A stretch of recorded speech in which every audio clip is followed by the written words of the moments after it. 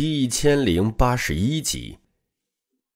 这是昔日无敌的王炼化出的兵器，此时运转出了各种怪异的负面的力量，影响人的心神。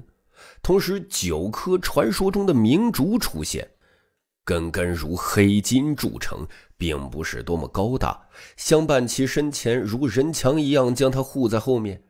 人们惊悚，这种东西竟然真的可以培养出来。相传，它生于冥土，需以太阴圣力滋养，才可以不断成长，进化为修士梦寐以求的大杀器。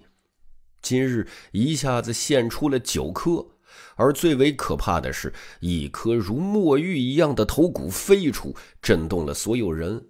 骷髅头晶莹无光闪烁。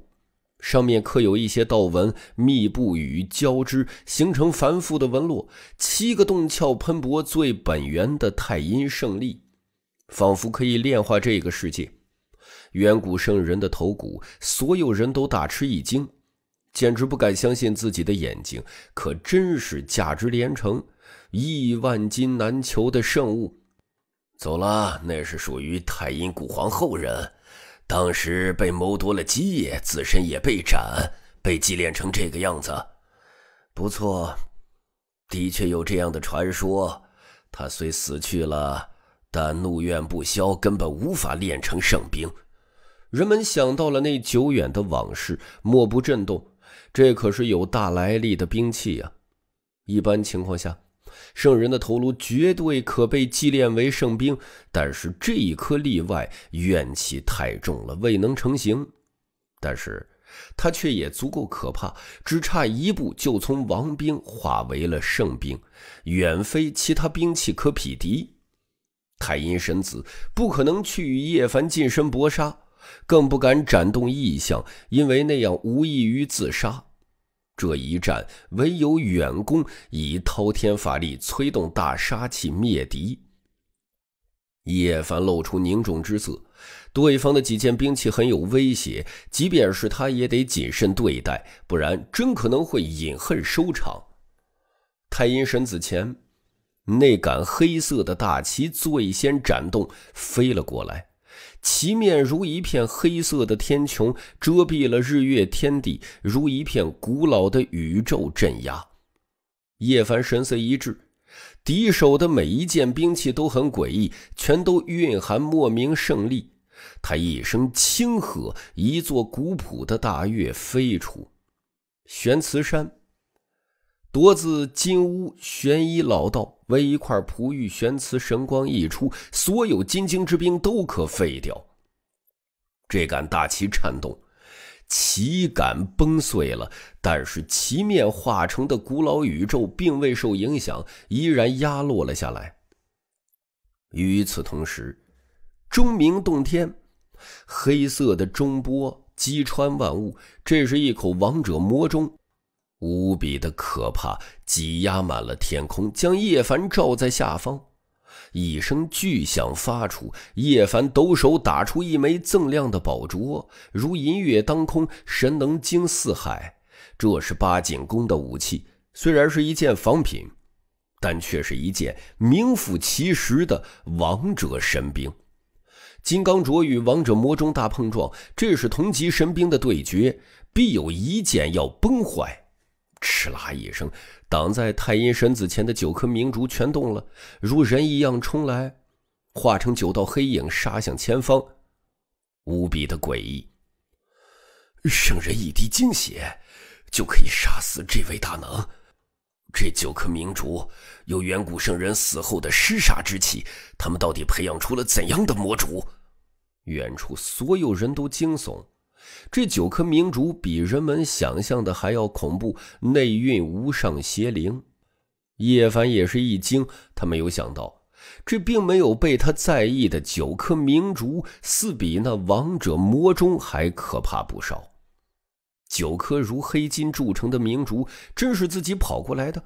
妖异而恐怖绝伦，远远的就传来了一缕圣人威压。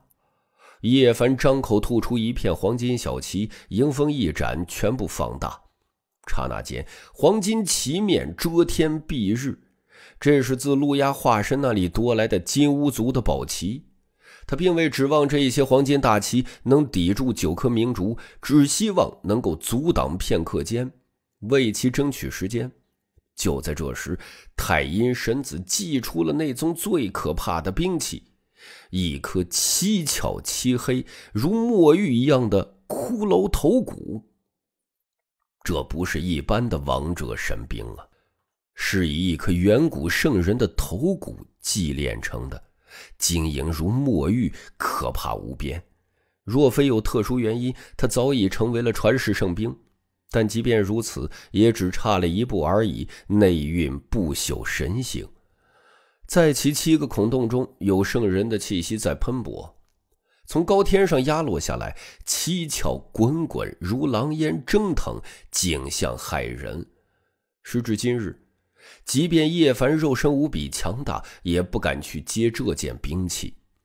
这是圣人的头骨，只差一步就升华了，谁碰都得死。永恒的放逐。叶凡以豆子秘模拟王腾的秘术。结合姬家大虚空术进行了一次真实而繁复的演化，他强行打开了一道次元之门，迎上了这颗远古圣人的头骨，轰隆一声收了进去，彻底闭合。什么？远空传来惊呼声。这件被认为一出现就已经扭转了战局的王者之兵，就这样被解决了吗？所有人都屏住了呼吸。啵的一声轻响，并不是很大，但是整片天空都破烂了。头骨飞回，破开那片次元虚空而归，没有什么可以挡住它。叶凡施展行字诀，自原地消失。砰的一声，那片虚空成为一个黑色的大裂谷，被头骨所击穿。同时，有一股银河垂落九天一样的力量冲出，影响到了整片北海，让无穷海域发生了海啸，数以千里大崩溃。这就是远古圣人的头骨，一旦动起来，神力茫茫无边，让人难以抗衡。叶凡没有与他死磕。他眼中金光闪烁，想要实施斩首行动。只要杀了太阴神子，这颗头骨的威胁自然消失。然而，想要做到这一切很难，他不可能无声的掩杀过去。金刚镯是非凡神物，与那口不祥的魔钟剧烈碰撞，黑色中波带着各种负面情绪入侵人的元神，哗啦啦太阴大旗也在展动，如一片古老的宇宙压落下来，不过却被玄慈山挡住了。两者僵持在那里。这些神兵的对决也关乎到了胜负与生死，每一剑都拥有无尽杀机。最让叶凡意想不到的是，金乌族的宝旗并未被毁掉，虽然其神能被九颗明珠绝对压制，但是始终不碎。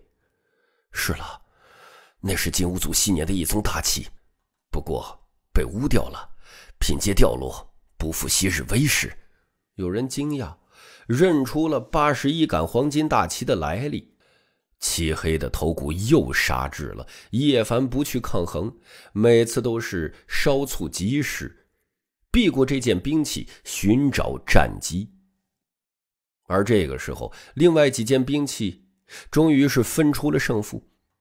玄慈山不愧为一块璞玉，有很大的成长潜力，将黑色的大旗定住，打穿了过去。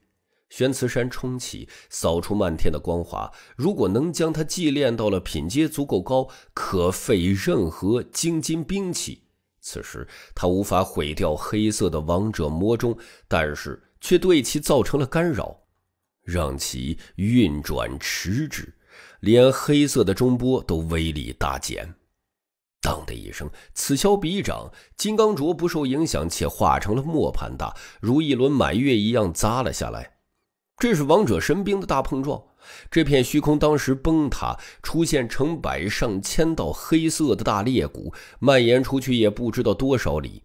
他们的对击让这方天地快速沉陷，像是走向了世界末日的终点。什么都不复存在了。最后一声钟鸣，黑色的魔钟碎开，钟壁化成数百片，飞向了四面八方。